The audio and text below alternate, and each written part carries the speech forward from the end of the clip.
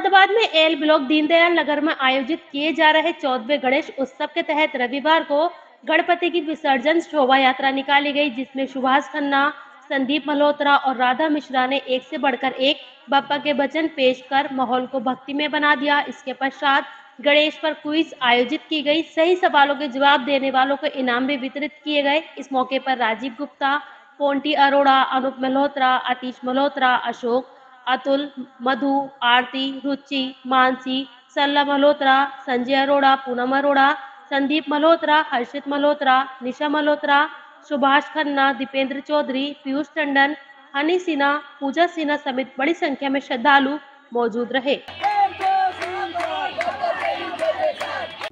पूजा सिन्हा। क्या कहना चाहिए करना हमारे यहाँ ये चौदवा गणेश उत्सव मनाया गया है।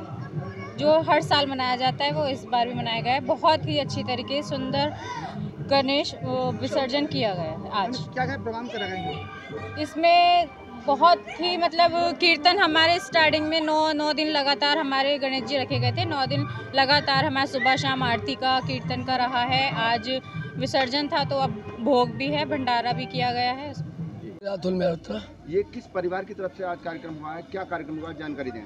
ये आज गणपति विसर्जन कार्यक्रम था जो चौदहवा साल है इस कार्यक्रम का। और छोटे से रूप से कभी हमने चौदह साल पहले इसको शुरू करा था जो आज इतना बड़ा रूप ले गया जिसकी कभी हमने भी कल्पना नहीं करी थी। और आगे बढ़ते ही जा रहा है सब इतने भगत लोग जुड़ते हैं। और आज भी उम्मीद ही थी कि मौसम भी जैसे चल रहा था कि बच्चे लोग या लेडीज़ जाएँगी। वो भी इतनी भीड़ हमारे संग गई, जो बाबा मतलब भक्ति भाव से भिगो रहता, गदगद कर रहा है। रात को एक एक बजे तक कीर्तन चला, बाकी सुबह आरती और उसके बाद कीर्तन, फिर रात्रि आरती, फिर कीर्तन, लोगों का बोले ऐसे भाव हो रहे थे।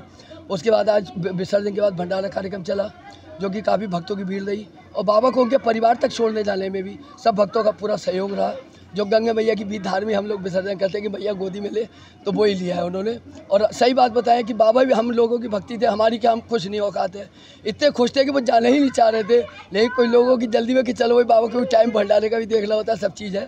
तो बाबा की बा, बाबा की इच्छा वही थी कि वो चलो परिवार पर तो जाना ही है तो हम लोगों के परिवार में जाना दिल से नहीं जाना तो जो एक जी। परिवार की ओर से हुआ नाम ये सब पूरा ही सब परिवार है साथ देता है। ये दीनदयाल नगर हाँ Deendayal Nagar A L block का परिवार पूरा। जी जी। क्या मैसेज देना चाहेंगे? क्या संदेश मैं तो यही कि जैसे हमने छोटे से रूप से शुरू करा था इसी प्रकार से अगर जगह जगह बढ़ ही रहा है कि कहने भी बेकार है हमको लेकिन और जो बड़े घर घर बढ़ रहा है कि ऐसे ही बढ़ता रहे धर्म काम बढ़ता रहे हमारा तो बहुत बढ़िया खुशी की बात है बढ़ रहा है जिसको हम आपको कह रहे हैं। और ये चौदह साल पहले जो हुआ था शुरू ये हकीकत है, बहुत छोटे से रूप से हुआ था।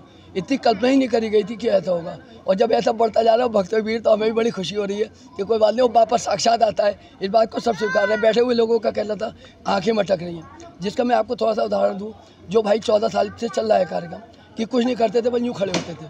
अब कितने वो गुणगान ऐसा कर रहे हैं कि पब्लिक कह रही है, आप सुनाओ। कलाकारों को भी बुलाया हमने। कलाकारों को रोक रोक के उन आदमियों की कोई ढोलक बजाने लगा तो ये बाबा ऐसी कृपा की, और तारीफपूर्ण ऐसा नहीं कि उनने पहली बार बजाई तो लोगों को लगे नहीं कि दोबारा डिमांड हो हर रोज़ उसी के गुण आया बोले वही तुम्हारा भी भजन चलेगा।